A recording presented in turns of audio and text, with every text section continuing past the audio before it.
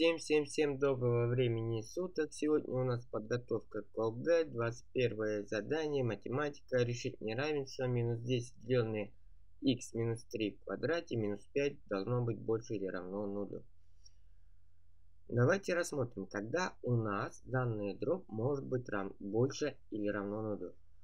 Первый случай, это когда числитель и знаменатель плюсовые, то есть больше нуля.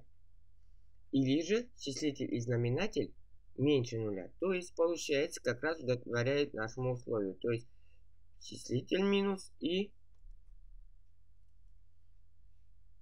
и знаменатель минус.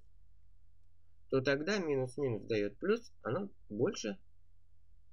Ну, может быть иногда и равно нулю, но в данном случае у нас в числителе минус 10, а знаменатель не может быть равно нулю. Тогда получается x минус 3 в квадрате минус 5 должно быть меньше нуля. Но не равно, потому что на 0 делить нельзя. x минус 3 в квадрате минус 5 должно быть меньше нуля. Давайте попробуем многие его разложить. Многие, наверное, раз возведут в квадрат по формуле сокращенного умножения и будут решать через дискриминант. Я предлагаю один из лучших способов. Мы можем 5 представить в виде корень из 5, все это в квадрате. Получается x минус 3 в квадрате минус корень из 5, все это в квадрате меньше нуля. Меньше нуля. Если мы попробуем, давайте найдем нули, то есть получается это у нас разность квадратов. Я могу его разложить как? x минус 3 минус корень из 5 и x минус 3 плюс корень из 5 равно нулю, чтобы найти корни. И когда оно равно нулю? Когда один из множителей равен нулю. То есть или первая скобка, или вторая.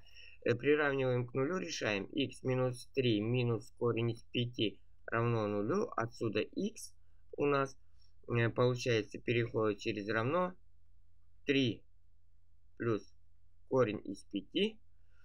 И из второй скобки получается x минус 3 э, плюс корень из 5 равно нулю. Отсюда x равно 3 минус корень из 5. Мы нашли два корня. Э, нарисуем числовую прямую. Числовую прямую. Данной числовой прямой э, отметим наши точки. Так как здесь у нас с минусом он будет левее, а где с плюсом он будет правее. Выкладывая точка 3 минус корень из 5. И вторая точка это у нас 3 плюс корень из 5. Так как у нас она является параболой, ветви параболы смотрят вверх, потому что если возвести квадрат, раскрыть скобки получается x квадрат, минус и так далее. Поэтому у нас получается три интервала. Три интервала. В данных интервалах у нас знаки плюс, минус, плюс. А нам нужно, чтобы x минус 3 в квадрате минус 5 должно быть меньше нуля. А меньше нуля оно как раз от 3 минус корень из 5 до 3 плюс корень из 5. И пишем ответ. Ответ. x принадлежит